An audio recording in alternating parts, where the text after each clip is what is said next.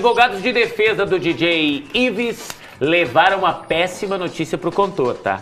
Ele tá preso lá por lesão corporal, naquela história de agressão contra a Pamela Holanda, Preso ex-mulher. há 18 Só dias. que parece que ele vai ser indiciado por dois crimes. Pois é, gente. Péssima notícia. Ele que esperava, na verdade, que ele saísse, que ele fosse agora responder o processo em liberdade, né? Agora ele foi indiciado pela Polícia Civil do Ceará por mais esses dois crimes, ó. Ameaça e injúria no âmbito da violência doméstica. Então, ameaça e injúria lá no âmbito da violência doméstica. De acordo com as informações eh, preliminares, um novo inquérito policial vai ser aberto nos próximos dias para investigar novas denúncias e existe sim a possibilidade de um outro pedido de prisão.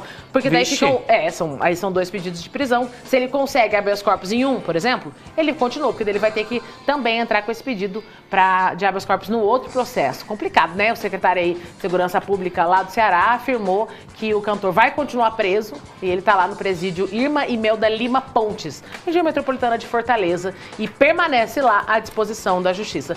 Fica aí, é, né, até a nossa a nossa tranquilidade, eu acho até, por ele continuar preso, porque a Pamela ainda tem muito medo e acredito, lembra que a gente falou que ela, que ela disse que tinham outras agressões e outras provas? De repente, baseado nessas provas, Meu esse outro Deus, inquérito hein? pode ser aberto para investigar mais Mas agressões. atenção, hein?